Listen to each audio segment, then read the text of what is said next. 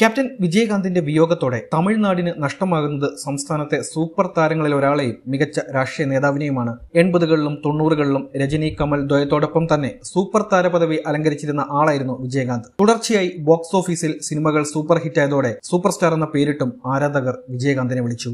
ആയിരത്തി തൊള്ളായിരത്തി അൻപത്തിരണ്ട് ഓഗസ്റ്റ് ഇരുപത്തിയഞ്ചിന് മധുരയിലാണ് വിജയകാന്തിന്റെ ജനനം. ആയിരത്തി തൊള്ളായിരത്തി എഴുപത്തി ഒൻപതിൽ ഇനിക്കും ഇളമി എന്ന ചിത്രത്തിൽ വില്ലൻ കഥാപാത്രം അവതരിപ്പിച്ചുകൊണ്ടാണ് വെള്ളിത്തിരിയിലെ അരങ്ങേറ്റം. ആയിരത്തി തൊള്ളായിരത്തി എൺപത്തി ഒന്നിൽ പുറത്തിറങ്ങിയ സട്ടം ഒരു ഇരുട്ടറി എന്ന സിനിമ നായകൻ എന്ന നിലയിൽ അദ്ദേഹത്തിന്റെ വാണിജ്യ മൂല്യം ഉയർത്തി. ക്ഷുഭിത യൗവനം എന്ന പേര് ലഭിക്കാൻ വിജയകാന്തിന് അധിക നേരം കാത്തിരിക്കേണ്ടി വന്നില്ല. സിവപ്പുമല്ലി ജാതിക്കുരു നീതി തുടങ്ങിയ ചിത്രങ്ങളിലൂടെ വിശേഷണം അനർത്ഥമാക്കുവാനും വിജയകാന്തിനായി. നാടിനും കുടുംബത്തിനുമായി എന്ത് ത്യാഗവും ചെയ്യുന്ന കഥാപാത്രങ്ങളിലൂടെ പുരക്ഷി കലിഞ്ചർ എന്ന വിശേഷണവും താരത്തെ തേടിയെത്തി. തമിഴ് വാണിജ്യ സിനിമയുടെ ഏത് പാറ്റേണും വഴങ്ങുന്ന ആളായിരുന്നു വിജയകാന്ത്. ആക്ഷനും പ്രണയവും വൈകാരിക രംഗങ്ങളും ഒക്കെയുള്ള സിനിമകളിലൂടെ വിജയകാന്ത് സ്വന്തം ഇടം കണ്ടെത്തുകയും ചെയ്തു.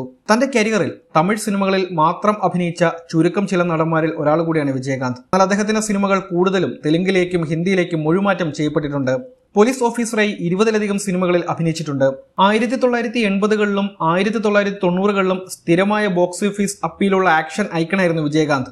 ആയിരത്തി തൊള്ളായിരത്തി തൊണ്ണൂറ്റി ഒന്നിൽ ഇറങ്ങിയ നൂറാമത്തെ ചിത്രമായ ക്യാപ്റ്റൻ പ്രഭാകരന് ശേഷമാണ് ക്യാപ്റ്റൻ എന്ന പേര് വിജയകാന്തിന് ലഭിക്കുന്നത്. തമിഴിൽ നടന്മാർ രാഷ്ട്രീയത്തിലേക്ക് ഇറങ്ങുന്ന പതിവ് വിജയകാന്തും തെറ്റിച്ചില്ല. രണ്ടായിരത്തി അഞ്ച് സെപ്റ്റംബർ പതിനാലിന് ദേശീയ മൂർപ്പോക്ക് ദ്രാവിഡ കഴകം എന്ന രാഷ്ട്രീയ പാർട്ടി സ്ഥാപിച്ചു. രണ്ടായിരത്തി ആറിലെ നിയമസഭാ തെരഞ്ഞെടുപ്പിൽ സംസ്ഥാനത്ത് ഇരുന്നൂറ്റി മുപ്പത്തിനാല് സീറ്റുകളാണ് മത്സരിച്ചത്. എന്നാൽ വിജയകാന്തിന് മാത്രമാണ് പാർട്ടിയിൽ വിജയിക്കുവാനായത്. രണ്ടായിരത്തി പതിനൊന്നിൽ A I A D M കെയുമായി D M D K സഖ്യമുണ്ടാക്കി. നാൽപ്പത് സീറ്റിൽ മത്സരിച്ചു. ഇതിൽ ഇരുപത്തിയൊൻപത് എണ്ണത്തിലും വിജയിച്ചു. രണ്ടായിരത്തി പതിനൊന്ന് മുതൽ രണ്ടായിരത്തി പതിനാറ് വരെ പ്രതിപക്ഷ നേതാവായി വിജയകാന്തിനെ തമിഴ്നാട് കണ്ടു. അതോടെ തമിഴ് രാഷ്ട്രീയത്തിലെ ശക്തനെന്ന് വിളിക്കപ്പെടുകയും ചെയ്തു. എന്നാൽ പിന്നീട് രാഷ്ട്രീയത്തിൽ ശോഭിക്കാനായില്ല. എങ്കിലും പാർട്ടി പ്രവർത്തനവുമായി തന്നെ വിജയകാന്ത് മുന്നോട്ട് പോയി.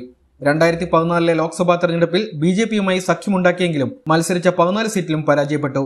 അനാരോഗ്യം മൂലം കുറെ കാലമായി സജീവ രാഷ്ട്രീയത്തിൽ നിന്ന് അകന്നു നിൽക്കുകയായിരുന്നു വിജയകാന്ത്. രണ്ടായിരത്തി പത്തിൽ പുറത്തിറങ്ങിയ ബിരുദഗിരിയിലാണ് അവസാനം സിനിമയിൽ നായകനായി അഭിനയിച്ചത്. രണ്ടായിരത്തി പതിനഞ്ചിൽ റിലീസായ ശതാബ്ദം എന്ന വിജയകാന്തിന്റെ മകൻ ഷൺമുഖ പാണ്ഡ്യൻ നായകനായ ചിത്രത്തിൽ അതിഥി വേഷത്തിൽ എത്തിയതാണ് വിജയകാന്ത് അവസാനമായി സിനിമയിൽ പ്രത്യക്ഷപ്പെട്ടത്. വിജയകാന്തിന് ആദരാഞ്ജലികൾ.